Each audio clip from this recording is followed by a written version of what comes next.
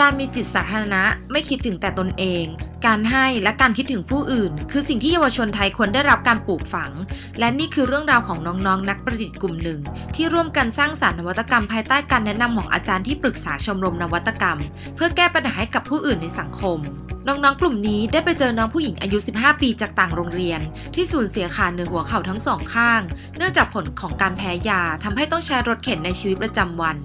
จากการสอบถามของน้องๆพบว่า ถึงแม้น้องผู้หญิงจะสามารถเคลื่อนที่โดยใช้วีลแชร์ได้ตนเอง แต่ปัญหาหลักของน้องก็คือ การขึ้นไปนั่งบนวีลแชร์และการลงทำไม่ได้ด้วยตนเองต้องมีผู้อื่นคอยช่วยอยู่เสมอ และนี่เองจึงเป็นที่มาให้น้องๆนนักเรียนและอาจารย์ที่ปรึกษาโครงการ จากโรงเรียนสาธิตจุฬาลงกรณ์มหาวิทยาลัยฝ่ายปฐมได้ทำการศึกษาและออกแบบวีลแชร์ ที่ผู้พิการสามารถขึ้นและลงได้ด้วยตัวเอง Smart Wheelchair จึงถือกำเนิดขึ้น เป็นนวัตกรรมที่ออกแบบมาเพื่อให้ผู้พิการที่สูญเสียขา เช่นเด็กที่ยังไม่มีกำลังแขนพอในการยกตัวเองขึ้น และลงจากรถเข็น สามารถใช้ชีวิตได้สะดวกสบายขึ้น แนวความคิดของ Smart Wheelchair คือ การติดตั้งกลไกขับเคลื่อนไฟฟ้าแบบพิเศษ เพื่อขึ้นลงในแนวดิ่งเข้ากับรถเข็นทำให้สามารถลดระดับความสูงลงมาเท่าพื้น ผู้พิการจึงไม่ต้องออกแรงดึงตัวขึ้นไปนั่งเหมือนรถเข็นแบบเดิม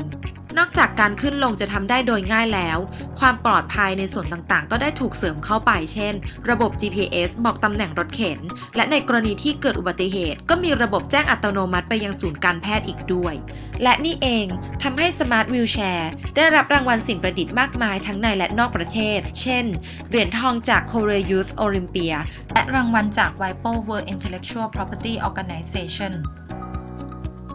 บนวัตกรรมดีๆ ที่มีประโยชน์ต่อสังคมได้อีกที่ Facebook CU Innovation Hub และ YouTube CU Innovation Hub